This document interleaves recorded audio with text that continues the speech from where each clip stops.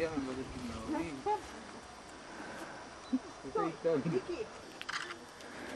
O, miałam latarkę, ała. No ale po co, niepotrzebna. No jeszcze przejść. Nie szkodzi.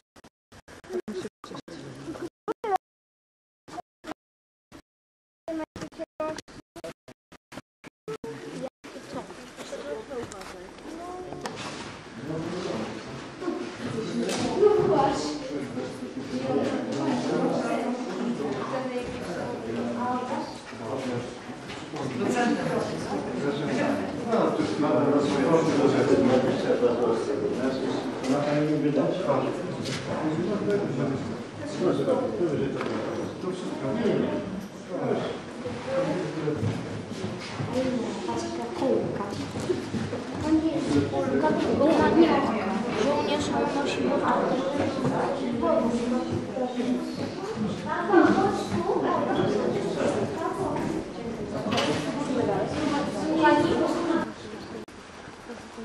Proszę Państwa, przed Wami jest tunel. Sprawdzam, no właśnie, jeszcze tak myślę, że jednego nie ma. Przed Wami jest stron pogotowia, nie mylić tego z pogotowiem ratunkowym, to do czego służył? Proszę młodzieży, co to jest stron pogotowia, jak to nie jest pogotowie ratunkowe? Oczywiście pogotowie bojowe. Stali tu żołnierze w pełnym rynsztunku, czekając na rozkazy. To, co widzicie, to ława strzelecka. Wcześniej były tu jeszcze drewniane schodki, Stawał sobie żołnierz, opierał broń i strzelał. W tamtych czasach musiał mieć opartą broń, bo jednak odrzut był duży. Przy dobrej widoczności było widać goniąc.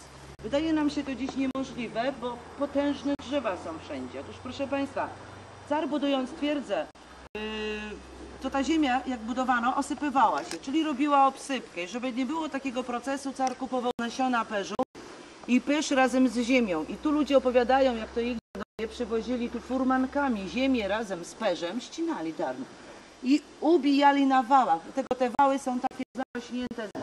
Wyjdziemy nią do prochowni, potem do przelotni i znowu na zewnątrz. Świadomie Państwu mówię te wszystkie nazwy budownictwa fortecznego. Proszę Państwa, chciałabym to zauważyć i, i naprawdę bym y, chciała, żebyście Państwo tym wiedzieli.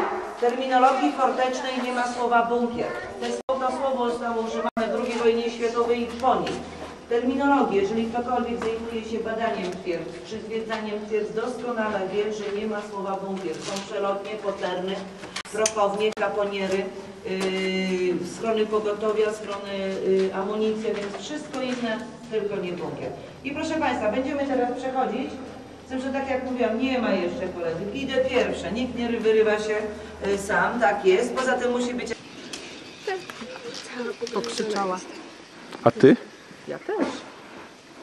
Ciemno było, to nie wiadomo kto, nie? Muszę powiedzieć, proszę Państwa, że miło się chodzi z przygotowana, ma sprzęt, można poświecić, że człowiek tak bezpiecznie chodzi po tych wszystkich e, stronach. Natomiast tu łatwo zauważyć, tak kaponiera na y, ciężkie karabiny, pół kaponiera na lekkie. I proszę Państwa, to co mówiłam, tu nawet dotknąć może tej niej dochodzić. Tu są powstały w 1944 roku na polecenie oficera politycznego. W każdej armii był oficer polityczny, w Armii Czerwonej też, oczywiście w naszym Wojsku Ludowym także.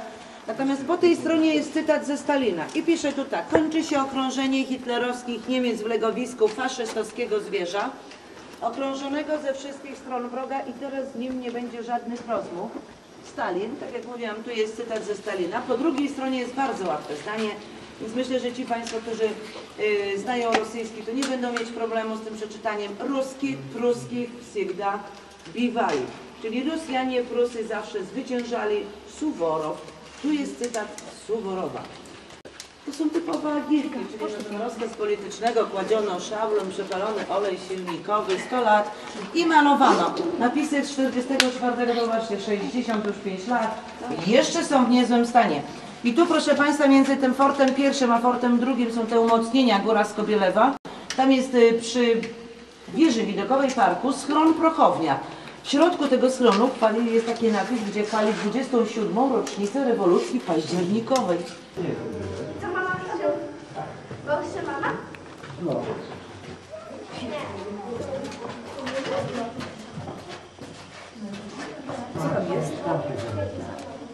To jest punkt obserwacyjny, tak jak była ta wojen. Ta. Gosia,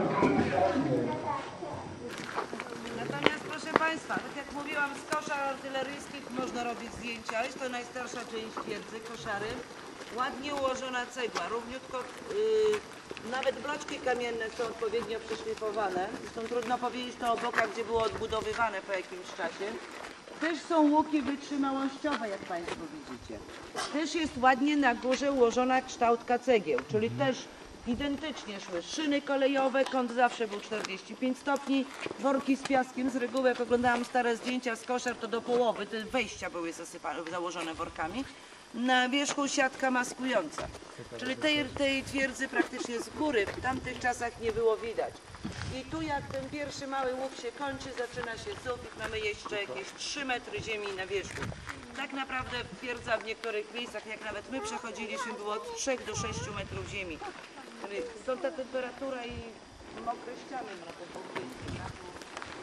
Strony. Drzwi mówią, że ważą 2,5 tony. Y, No, wojna wojną, polityka polityką. Cal była, y, stal była brana z prut wschodnich.